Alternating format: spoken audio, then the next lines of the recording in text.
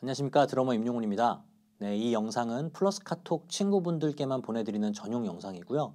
오늘 강의 다뤄볼 주제는 반동과 터치. 어떻게 보면 드럼을 가장 처음 익힐 때 꼭 익히셔야 하는 그런 부분들을 한번 다뤄보도록 하겠습니다. 지금 치고 뒤로 끌어올리고 있죠. 하지만 전 어떻게 했죠? 치고 나서 손목이 밑에 있었어요. 보세요. 네, 드럼이 바깥으로 빠지는 모습이 어떤 모습인지를 보여드릴게요. 안으로 파고드는 느낌으로 해볼게요. 그러니까 마치 손의 모양이 이렇게 하는 게 아니고요. 그래서 이제 초보자분들께서 아마추어 분들께서 많이 겪으시는 문제가 뭐냐? 치고 나서 자꾸 이런 덩실덩실의 모양이 자꾸 드럼이 나오죠.